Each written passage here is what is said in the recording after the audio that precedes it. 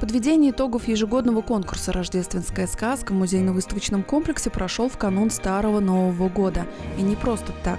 Ведь Старый Новый год – это редкий исторический феномен, дополнительный праздник, который получился в результате смены летоисчисления. Таким образом, в ночь с 13 на 14 января каждый может позволить себе допраздновать самый любимый праздник. Январь – первый месяц года всегда полон чудес и волшебства. И так здорово, что есть еще один повод встретиться и собраться все вместе, а также подвести итоги традиционного конкурса «Рождественская сказка». Добрый день, праздник? Замечательно. Будете еще участвовать?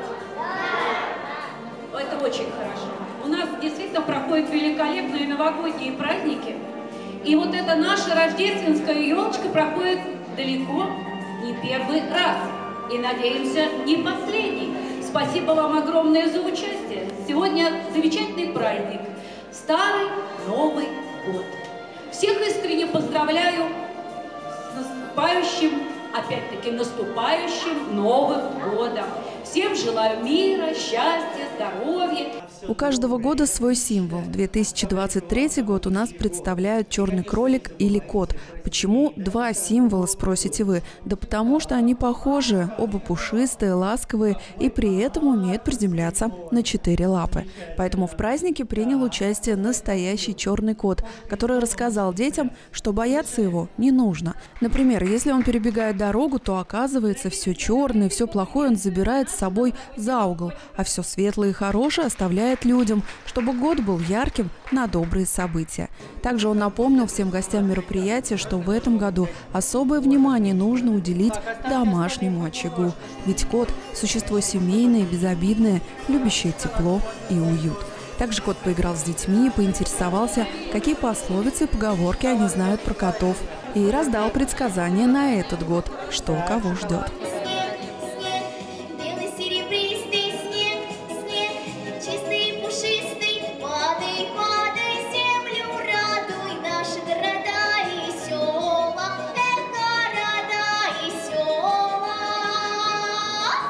Самое главное, чего ждали участники конкурса в этот день, это узнать, в каких же номинациях выиграли их елочки. Всего было 10 номинаций. Например, в первой «Хранитель народных традиций» победу одержали дети и воспитатели детского сада «Жемчужинка». В нашем городе ежегодно проходит этот праздник «Рождественская елка». Мы участвуем второй год.